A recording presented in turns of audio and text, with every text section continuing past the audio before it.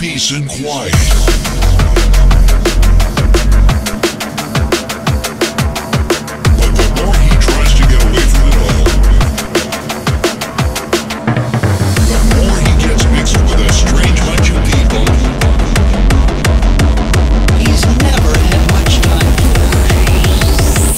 Rest of the human race.